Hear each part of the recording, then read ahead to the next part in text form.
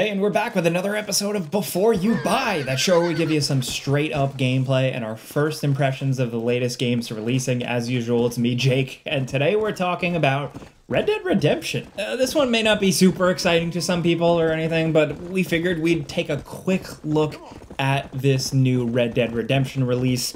Now it's ported to PlayStation 4 and Nintendo Switch. So this is technically good, but it's complicated. So let's get the elephant out of the way. The good is that Red Dead was only really playable on modern Xbox consoles through backwards compatibility. So now, instead of it being like banished to the PS3 forever, Rockstar released this PS4 port that you can also play on PS5 through backwards compatibility. And uh, Nintendo Switch just never had the game at all. So that's good for Nintendo folks. The bad news, though, is twofold. Number one, PC players are still left in the dark. And number two, they're asking $50 in the United States for this, which is a really big ask. This is a port of a game from 2010. It's well over a decade old. And other than some new language support they added in, this is just the 2010 game.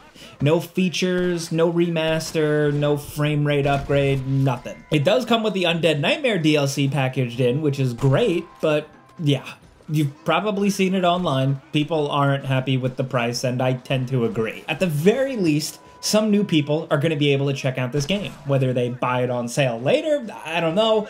But uh, there is added scrutiny after the release of the GTA Trilogy Definitive Edition, which uh, those versions of the game, like I said in the first video we did on that, it just did not get the love or treatment that it truly deserved. Like those games are legends. So I was a bit nervous as to how this would turn out, considering if something like The King, The Pinnacle, Grand Theft Auto could be messed up, I, I didn't know if Red Dead had a shot. But as it would turn out, the results here are seemingly pretty safe. I've been playing both versions for a few days, uh, put a few hours in both, and haven't found any big issues. It's just a straightforward port of the game. Like I said, same quirks, same frame rate, no surprises. So unless like Mexico or something is broken later in the game because I haven't gotten there yet, everything seems all right. The Switch looks and plays well both handheld and on the TV. From the naked eye, and like if you're really discerning, it may look a little bit lower resolution, and I noticed some slight, slight lighting differences in some scenes, but that's about it. It's a bit harder to notice the dust and heat wave effects on the horizon, and the draw distance might be a little blurrier, but this is all me, like I said, really, really looking. It's not jarring at all, and it's a version of the game I personally wouldn't have a problem playing all the way through. As you can see here on screen, this is it running on the handheld itself. It is pretty cool to see the game on here, not gonna lie, even though it's 50 bucks. The PlayStation 4 version seems to be fine. I played with it on PlayStation 5, and I did have one instance where John hopped on a horse and then, like, he blinked and stood on top of the horse. Weird glitch. I couldn't replicate it, but honestly, this could have been a glitch in the original game. And yeah, the frame rate is 30. I did notice it dip a little bit where it would dip in the original game when things got really, really crazy, but ultimately still playable, still solid. I really, really wish it was at a higher frame rate though, something, especially after replaying it a year or two ago on Xbox. Maybe something this will happen down the line, but yeah. So that's ultimately it. If you're an online gamer, a seasoned gamer with seasoned opinions, you should absolutely vote on your wallet with this one. But uh, again, with this game, it's actually just a nice opportunity to talk about Red Dead Redemption and go on record because it's been a while.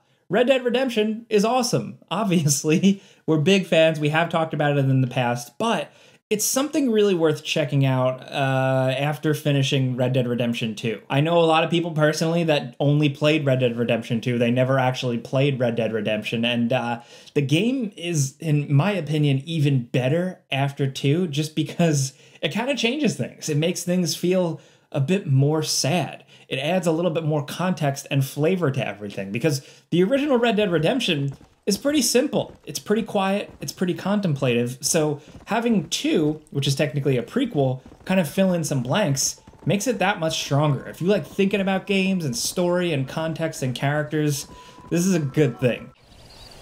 You always did think I was an idiot. That ain't fair, Bill. You were as my brother. I've come to try to save you. oh. Do I look like I need saving? Bill, please. They want to kill us all. I can help you. Well, you never tried to save me before. You only seemed to save yourself.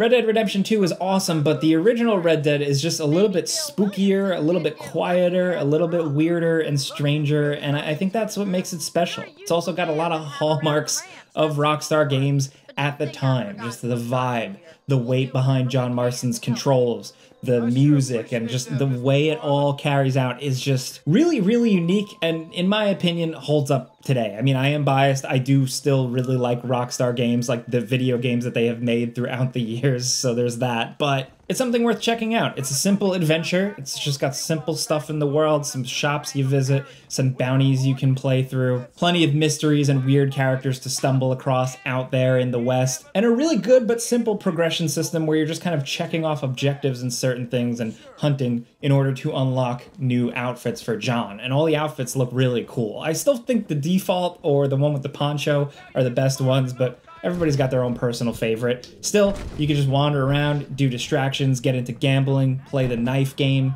And if you, again, if you've never played Red Dead Redemption 2, this, this is kind of like a less complicated version, but it's just as fun. Got the dead eye, it's got some good shooting, enemies ragdoll, they fly around. The feedback behind the shooting is still very satisfying. You get the vibration on both the Nintendo Switch and the PlayStation controllers. And it's just a pretty big, fun, engaging world. There's a lot of empty spaces, but that's kind of the point.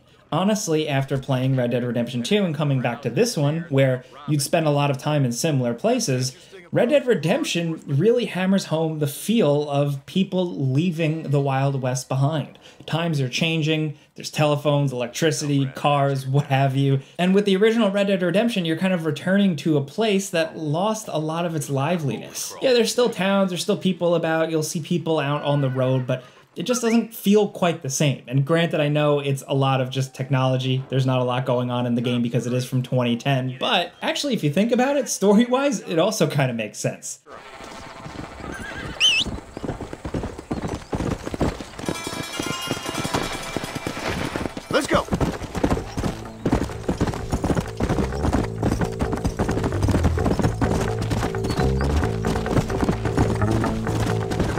Walton's as bad as you say he is, why don't we just beef him now while we got the chance?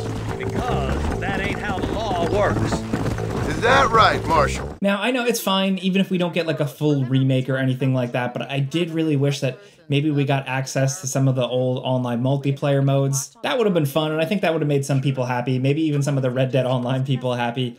They were just good times. But at the very least, like I mentioned earlier, this does come with Undead Nightmare, which you can just access from the main menu. And Undead Nightmare is solid. It's just good zombie and monster shooting in the world of Red Dead as like a spin-off what if thing. It feels kind of comic booky. And it's something I didn't spend a lot of time with back when the game originally launched. I kind of finished the main game and then moved on very quickly, but this does seem like something worth spending more time in. I, have never seen it through to the end, so I, I plan on possibly doing that. Maybe on the train on my Nintendo Switch. So if you can't tell, I really like Red Dead Redemption. I really have enjoyed playing through it so far again, and thankfully, without any issues, it is just a port. There is nothing sexy, there is nothing exciting about it. I mean, unless you are one of the new languages supported, I think that's a good win for you, but there's really not much to it. And you know what? After playing it, I'm okay with it not being completely remade or anything like that because they could have screwed something up. It's fine just re-releasing something, but I just really wish it didn't cost 50 bucks out of the gate. Because as much as I love this experience and you just listen to me gush about it, that is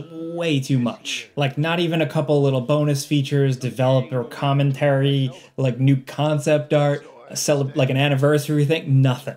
It is straight up just here's the game. It's on a modern marketplace now. Give us 50 bucks. But everybody's wallet, everybody's opinion, everybody's preference is different. So let me know in the comments what you think. I think for some people, like if they're on Nintendo Switch and they've never experienced this game because they only have Nintendo platforms, I really want to know what you're thinking about this. But let's talk anything Red Dead Redemption down in the comments. Specifically, if you have any insights about revisiting the original game after playing Red Dead 2, like I did, lots of thoughts, a lot we can go into. But for now, just hit us up down there, and uh, hopefully this helped. You know, we just wanted to get some gameplay on screen for you guys so you can just check it out and see for yourselves. So yeah, if you like that, if you appreciate that, click the like button because it does help us. Thank you. But that's it. As always, thanks for watching, and we'll see you guys next time.